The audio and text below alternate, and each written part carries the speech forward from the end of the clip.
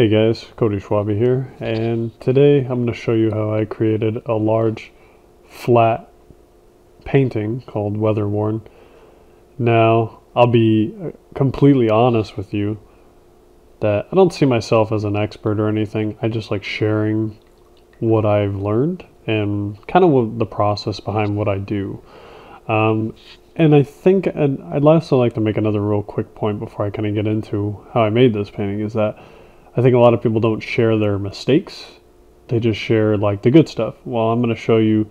I show you kind of everything a lot of times, or I, I, I plan to in the future because I think it's important to see that you know everybody makes mistakes.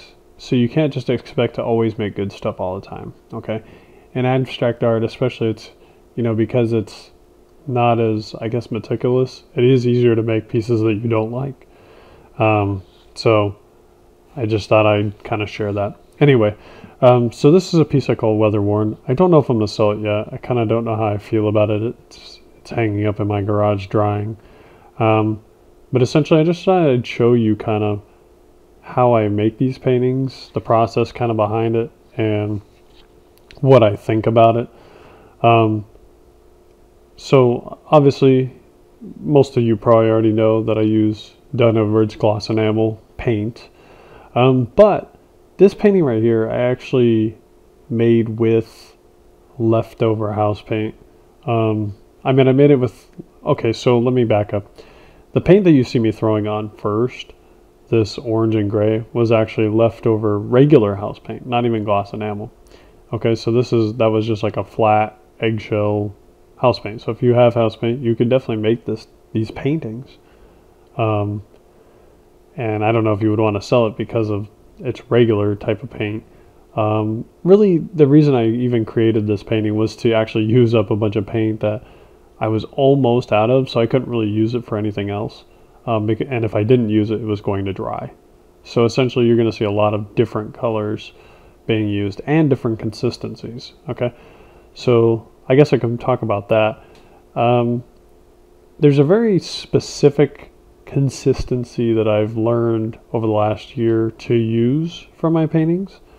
Uh, essentially, that consistency is a four to one ratio. And what I mean by that is that it's a, you know, four parts water, one part, I mean, sorry, 4.4 parts paint, one part water. And so, you know, I'll use about a cup of paint and a quarter cup of water. Um, and the reason I do that is because, you know, my paintings have, I use very fluid paint. The paint's already kind of, it already kind of moves, but just using that little bit of water breaks it up. And you'll see kind of parts of these, like the, uh, the red here over on the bottom left, the orange and the yellow, um, the bright orange, not the initial orange that I used. It's all really watered down. It's actually more than four to one, and that's why it's so wet. Um, but again, the paint I already had, I was just trying to use it up, so that's why it was so wet. Um, now, the actual method for creating these paintings, because at first I used to think that I didn't want to share my methods with people. I was like, oh, I could charge them and all that. But really, to be honest with you, abstract art is something that pretty much anyone could make. Now, I'm not saying that there's not methods to it. I'm not saying that people shouldn't pay for it. But let's be honest. I mean, the type of stuff that I do, like even Gerhard Richter, if you've never heard of Gerhard Richter, look him up. I mean, he does scrape paintings, and that's actually where I got the inspiration to do scrape paintings. Um, but uh, he is he's still living. He's one of the oldest living painters and most known and most like he makes so much money off of his paintings. But even he admitted that you know a lot of his paintings like there's no reason for them to be worth so much money, right? Um, so he's even admitted that. Um, but anyway, so kind of he just talked about like you know the the quality. So it's it's more about the name of the artist than it is the quality or you know the technique of the piece. He's even admitted that and he makes tons of money from you know paintings that are scraped just look up his work. It's amazing. I still love it. Um, and that's what inspired me. So sometimes it's not about the quality of it so much as far as you know, what looks good. I mean, the Mona Lisa is great, but it's the it doesn't inspire me, right? Me personally. But seeing a Jackson Pollock or a Gerhard Richter that has a lot of movement, but no actual focus to it. And I'm talking about Gerhard's later stuff. So if you know anything about him and you look up his his stuff when he was younger, you know he did a lot more realism. But anyway, um, so that's that's pretty much it. So yes, essentially anyone could make this. Um, you could watch this video, go out and buy some house paint, and make your own scrape paintings. And you know what? It wouldn't bother me. At first, I used to I used to think like, oh, maybe I could teach my methods and make a lot of money. And you know what? I'm not Bob Ross. Let's let's get real. Um, I'm not out to make masterpieces, and I may never be famous for the type of paintings that I do, and I'm okay with that. I've kind of resolved that. That's okay. Um, now, the reason I make paintings and my goal essentially as an artist isn't to make masterpieces. It's just to make cool, colorful pieces that would complement people's lives. So essentially what I try to do now is make paintings that look cool but have a specific kind of color scheme that uh, that is attractive to a, a large group of people. Okay, so essentially my business model kind of comes from that and and that's what I work at. Okay, so yes, I do like to make paintings that are cool um, or that I like, but I use certain colors or certain techniques and stuff like that for a certain reason. Um, now coming back to this particular piece, uh, you'll notice that what I did was I, I kind of have my own method when it comes to this. Uh, maybe there's other people that do this, but I, you know, for me, it's I call it the Schwabe method. It's my last name. Um, and what I essentially do is I kind of do a Pollock style painting to create the to put the paint on the canvas. And then once the paint is on the canvas, then I will go back and scrape my design across that.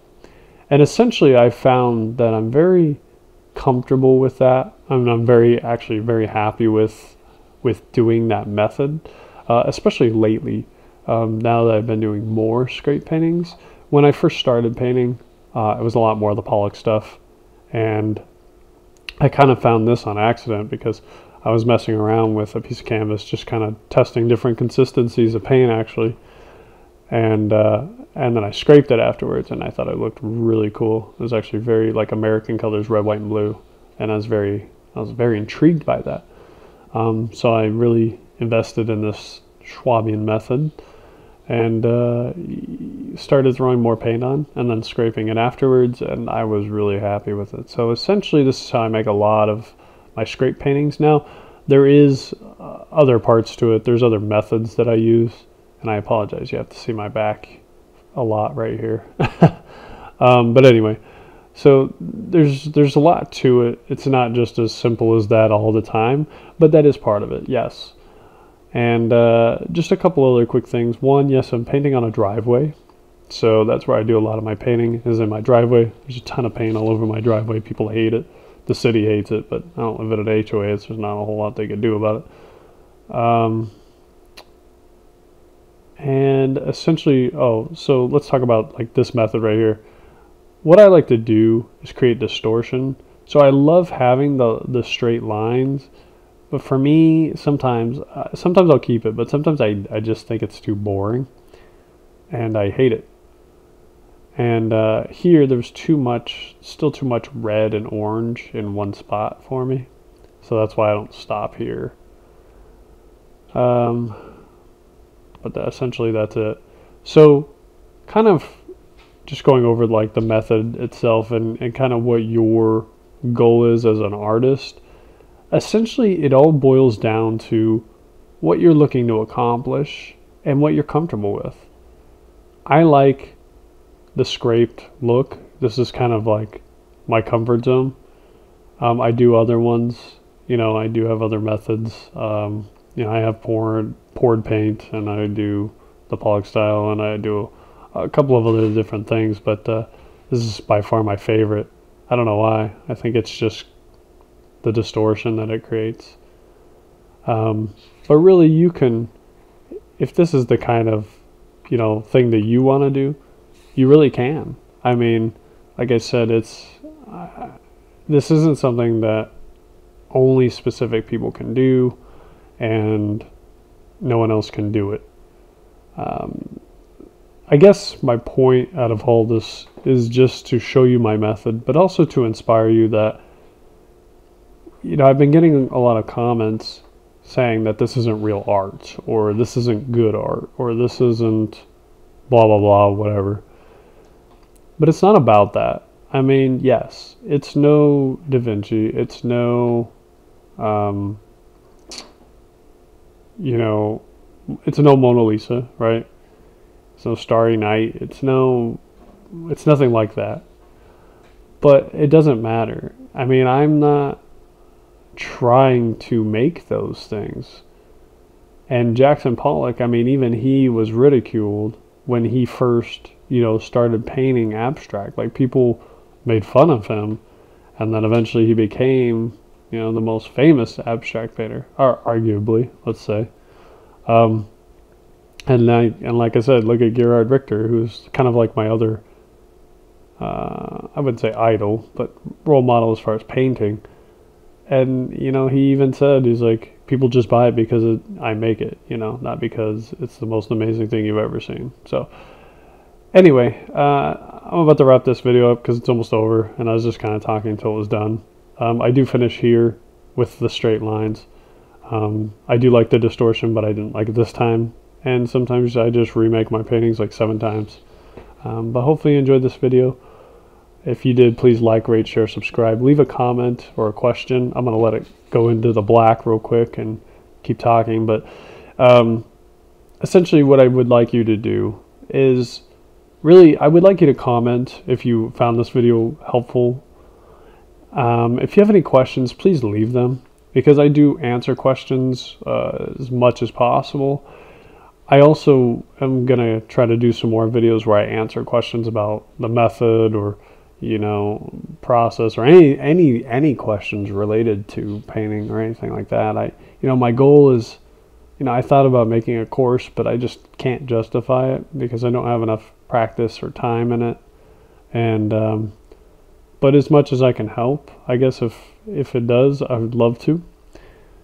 And uh, I mean that's pretty much it. You can check out my other links, my site and Patreon if you're interested in you know helping me out per every month. Uh, you can get into a drawing for for paintings.